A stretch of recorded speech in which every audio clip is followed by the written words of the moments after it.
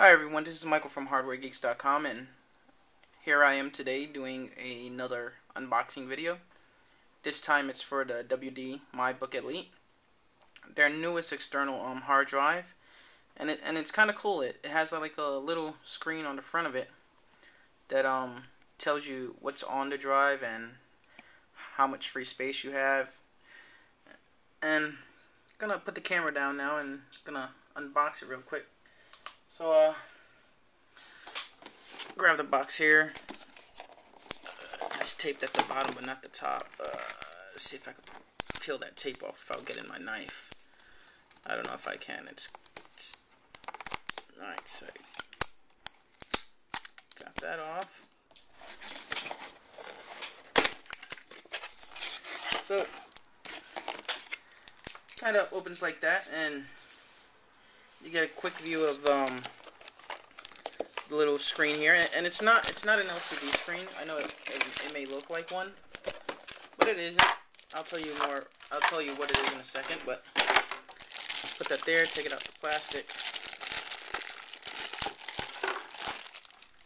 It's a nice little um two gig, two terabyte I should say um external hard drive with a USB that connects via USB. Uh, before I continue with the drive, let's see what else is in the box. And we have here USB cable, manuals, accessory, accessories you can get for it at the WD store, and power adapter. So um this right here it's it's actually um digital paper. It's it's it's what you would um find on the Amazon Kindle for example.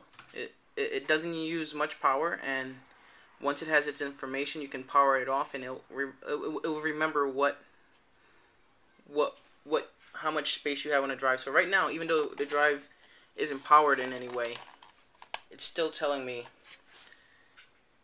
I don't know if you can see it, but it's still telling me what I have on there and how much um, free space I have. So if you can't see it, it says pictures and it says 1.81 terabytes free. So um, that's pretty cool. If you unplug the drive, you know how much free space you have before you even plug it in.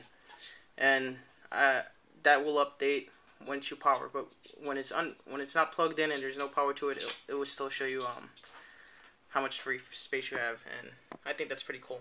Anyway, we we won't have a video review on this, but we will have a regular text review on the site within the next uh week or so. So check hardwaregeeks.com soon for for the review. Thanks for watching.